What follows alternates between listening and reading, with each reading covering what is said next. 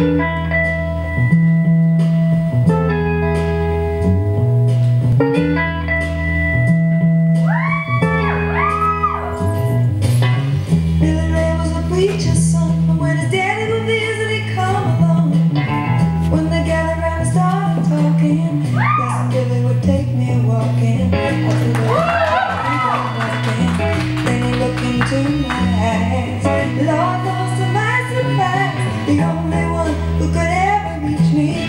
Was the son of a preacher man.